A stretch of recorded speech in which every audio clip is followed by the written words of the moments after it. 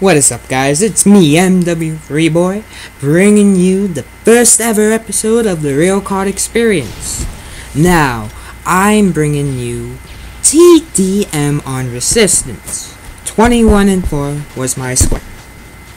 Now, I know it is not the best, but of course it's the Real COD Experience. Anyway, I'm also having a little technical difficulties with this video. It keeps like going in slow-mo and fast paced. I don't know. I can't explain it. Like, it's Pinnacle Studio. It's a gay program at sometimes, and I like it. But yeah, it's a gay program sometimes. Anyway, guys, I am bringing you TDM, like I said, and I just want to talk about things you can do to improve your game in TDM. Flanking is one, and then not going where your teammates are because if someone gets killed on the enemy team, they're gonna go, oh yeah, there they all are. I'm gonna go there, and so they're gonna try and flank.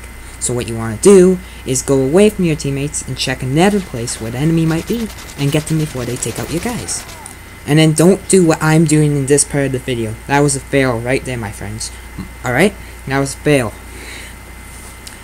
Anyway. Yeah, you want to really get on those guys before they get on you. And I'm not trying to make it sound gay or anything, but that's pretty much what it is. You get, like, raped by these guys. Don't drop the soap. uh, but anyway, guys. Yeah. So, flanking is one thing. Flank your opponents. And then you really want to secure an area, which I did not do that good. And check your six. That guy did not see me, but I still went after him without recognizing his friend was right there. And he was on the UAV, so I just realized that when I was like recording the video. It's like, oh man, that I did not notice. So I was actually a little nervous about that. What people would say, like, "Whoa, you didn't see that guy? Like, what happened?" Well, I'll tell you what happened. I did not use the UAV because I've always found the UAV useless, but in some cases now, it's good.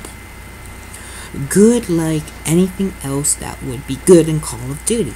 Kill streaks. I mean, not Black Ops. Like I said in one video, the kill streaks aren't the best. I mean, MW3's kill streaks are better, but, eh. Well, yeah.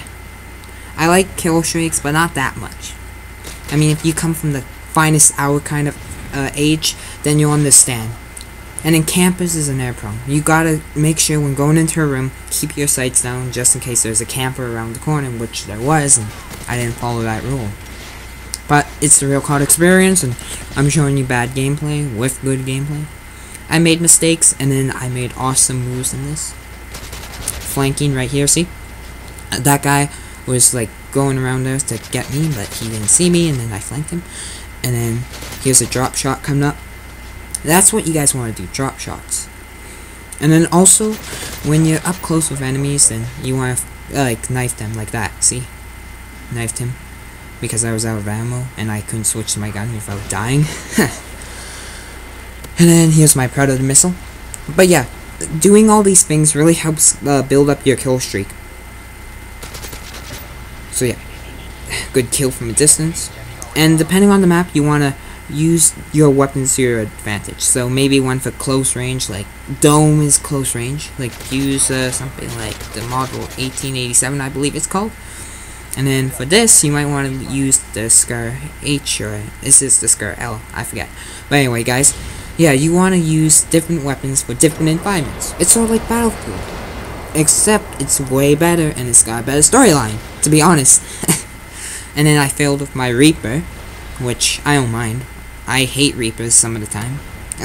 Not some of the time. Sometimes. Ugh. Sorry, having trouble speaking today, like always in my videos.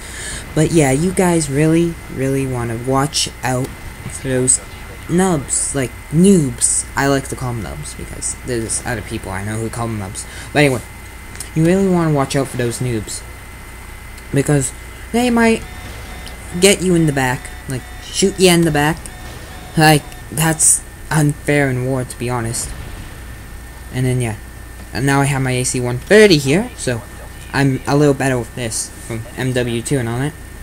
But yeah, I've not, I haven't been playing a um, Modern Warfare for that long. Maybe about three years or something. Maybe two years. I don't know. But yeah, I kind of am still getting used to the fact that Call of Duty went modern on us. Like I come from the finest uh, our age. I mean, that was one of my favorite Call of Duties. It's like, yes, I love this. Like the campaign was good, and then it had a good storyline. Like differentiating.